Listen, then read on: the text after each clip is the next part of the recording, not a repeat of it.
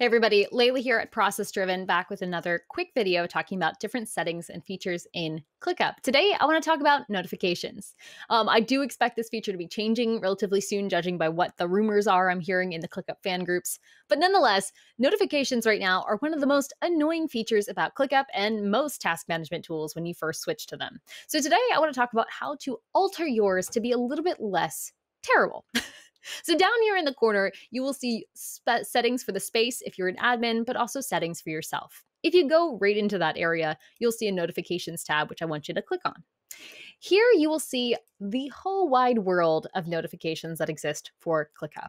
And this is where it becomes clear why this is so overwhelming. Um, ClickUp allows you to be notified for just about everything in case you don't want to log in ever. but all of these notifications become an acute form of hell when you're not using the tool very often. So, I would recommend, if you are just getting started, to consider just turning off all of the notifications.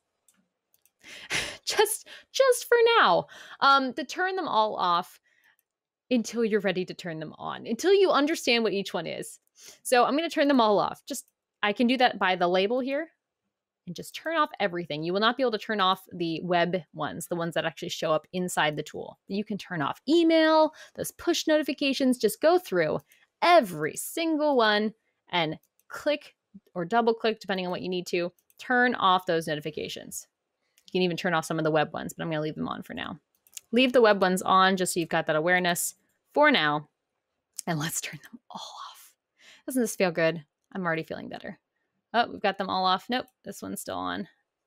Turn off that one. Just go down t- until you see all of the notifications. Oh my gosh, I must have missed some. Get them all off. All right. Ah, beautiful. Once they are all off, um, go back through and actually consider what you might want to turn on. I mean, it's amazing how few of them you actually are going to want to turn on. Um, what I would recommend is anything that is directly, you know, calling out to you those you probably want to turn on in whatever form you're going to check. So if you're always on the app, turn on the mobile. If you're always on your email, turn on the email. If you check both, I would only check one box or the other so you're not getting double notified.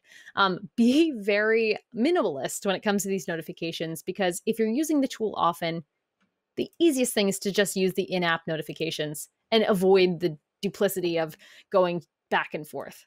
But nonetheless, let's just assume you're not always checking the app as often as you would. Let's see what we want to turn on. One I would recommend is turning on assigned comments. Let's say I don't check anything consistently, so we want all of them on, which is why I'm checking the double check here. I can also just check one or the other. Um, let's keep going. Resolve comments, I don't care. Comments assigned to me, yeah. Comments that mention me, yeah. I don't care about new comments or likes. None of that stuff matters. Um, I do not care about new tasks. Let's say I'm not the manager, not my problem. Keep going. Tasks assigned to me, that seems like an important one. I'm gonna leave that one on. Keep scrolling, keep scrolling. I'm sorry, this is a little bit moving. If I'm directly mentioned, once again, I'm gonna turn that on. Keep going, keep going. Again, these are gonna be dependent on you, but most of these, I have a big old I don't care button in my head. Checklist items assigned to me. Again, they're mentioning me. All right, yeah, I'll get I'll get those assigned. Um, Due dates. This one's a very personal one. Do you like to be pinged and reminded a lot of the times, or do you get pinged and then just totally start ignoring everything? I get pinged and totally start ignoring everything, so I don't like any of these. Um, maybe I will do, maybe let's turn on one. What do I want? Ah, how about this? Maybe I'm more of a preventative person. I don't like to be pinged all the time, but I like to have kind of a summary of what's coming up. So here I'm going to turn on all tasks assigned to me. I want a daily kind of update on what due dates are coming up every day at 7 a.m. Since I actually don't want that, I'm going to turn that off. But you could turn that on if you are someone who likes that daily digest. Again, more things you can turn on based on your preference and based on what all you want to be notified about. Okie dokie. ClickApps, just to break out even more options. If you want notifications about any of these changes, turn them on. I don't see why you would. So I'm actually going to turn them off even in the app because I do not care. Moving on down, integrations don't have any of them in this account, so it doesn't matter. And now we're down to list info. Very important section, somehow tucked on the bottom. Again, if they mention me, I want to know. If lists are assigned to me, I want to know. Priority change, don't care. Again, I that's my shortcut. If they're assigned to me, I want to know them. I don't care about anything else. Um, maybe chats do matter to you, in which case you'd want to turn these on, but I'm just giving you the default, in which case, nope, don't care. um, sharing, um, maybe you want to have these turned on if you don't frequently share things. You want to be notified when things are shared. And again, I'm being mentioned. I want to know. So that's the shortcut. You'll see I've took taken this list and reduced it probably by about half of how many things are on by default. Um, I'm also going to make sure that this is slowed down a little bit um, and that's what I would turn on when it comes to notifications. The biggest pain in the butt right now, right now with ClickUp and all other task tools is that when you first adopt them, you might probably aren't in the habit of checking them very often.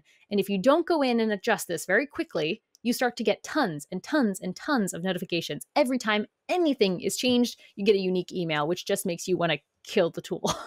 um, makes your organization very upset. If you're working with guests in ClickUp, they need to do this as well. Unfortunately, at this point, you cannot control your guest notifications. So every single guest, every single client, every single consultant, collaborator, subcontractor, unfortunately, um, send them this video. Tell them, hey, friend, I know I'm inviting you to ClickUp. I know you hate getting invited to people's project management tools, but tough. This one's awesome. By the way, when you get in there, watch this video, you know, the video you're watching right now, whoops, and turn off your notifications um, because otherwise you're going to hate me more than you need to just because you've never set them up properly. So that's how I would play with notifications. Just to review where we got or how we got here, click on the corner, go to notifications, change them. That easy. You do not need to hit save. As you'll notice, there's no save button. It all saves automatically. Um, as I refresh, and it's all just saved. So that's it. Um, if you have any questions about notifications, I probably can't answer them because this, I think the settings area is going to change pretty quickly, but I will do my best. Leave them in the comments. Let me know if this was helpful. And of course, feel free to share this with whomever is getting stressed out by the notifications in ClickUp or really any tool, because if there's one lesson you're learning here about adopting a task management tool, it's that make sure the notifications are you know reined in before you start rolling it out to the really tech averse or technophobic people on your team because they will hate you. Um, so that's it for this video. If you'd like to see more video like this, if you enjoy seeing tutorials, tips, workflow hacks, definitely subscribe to this channel or go down the description of this video and join my free Facebook group where we get to talk about this stuff live. We get to answer your questions, see your workflows. So it's a little bit less, you know, monologue like. But anyway, that's it for this video. Thank you so much for watching and have a great rest of your day, peeps.